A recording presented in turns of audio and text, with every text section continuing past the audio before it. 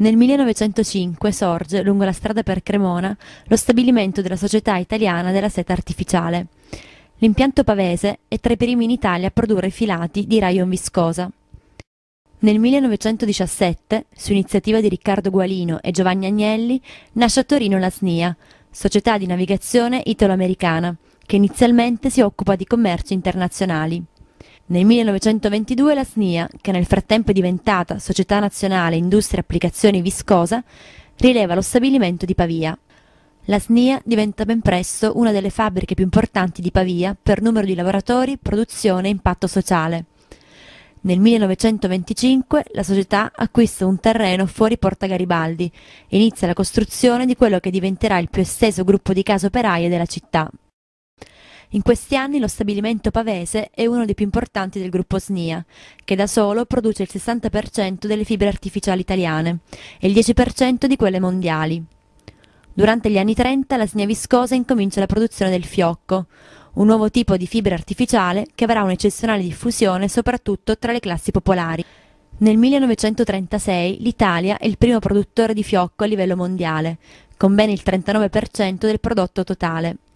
Negli anni del dopoguerra la fabbrica pavese raggiunge la sua massima espansione produttiva, arrivando ad impiegare fino a 2000 operai. Diciamo questo era uno stabilimento di fibre artificiali. Cosa vuol dire fibre artificiali? Che le materie prime partono, partono dalla cellulosa, cioè da materiali esistenti in natura, a differenza del, delle fibre sintetiche che sono quelle che partono dalla sintesi, Due erano le produzioni che avevamo in questo stabilimento, una era il rayon e l'altro era il fiocco.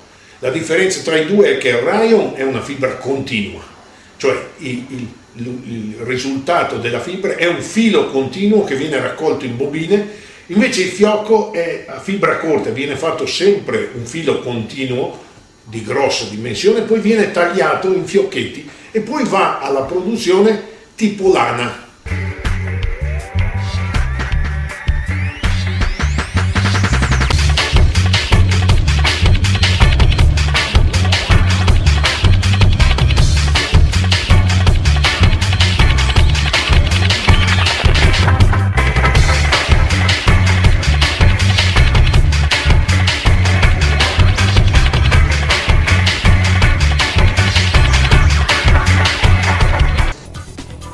La SNIA reclutava molti lavoratori al sud, promettendo per tutti una buona retribuzione e una sistemazione abitativa. Appena arrivati gli operai alloggiavano in semplici baracche di legno, proprio di fronte all'entrata della fabbrica, in via Dossi. Solo dopo un po' di tempo, con un po' di fortuna o magari con le conoscenze giuste, era possibile ottenere un alloggio nelle case della SNIA, nel vicino quartiere di Santa Teresa.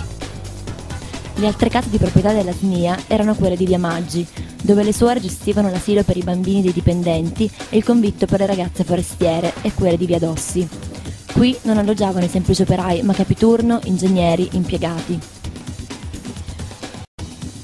Le condizioni di lavoro alla SNIA Viscosa di Pavia erano difficili.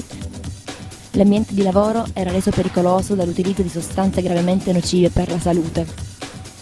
Il rischio principale, non solo all'interno dello stabilimento ma anche nell'ambiente esterno, era rappresentato dal solfuro di carbonio. Altri rischi rilevanti venivano dalla presenza di sostanze come acido solforico, soda caustica, piombo e dall'organizzazione del lavoro.